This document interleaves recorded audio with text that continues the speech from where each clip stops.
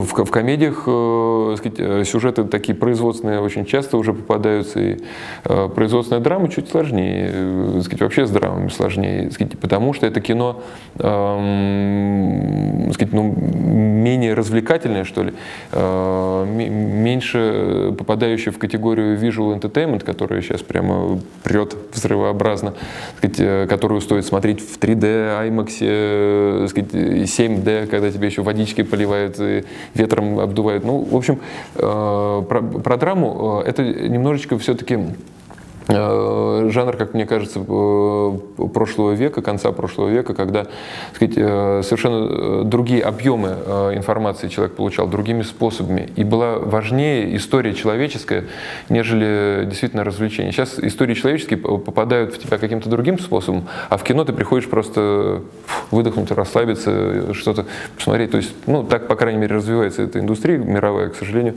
или к счастью, но просто по факту.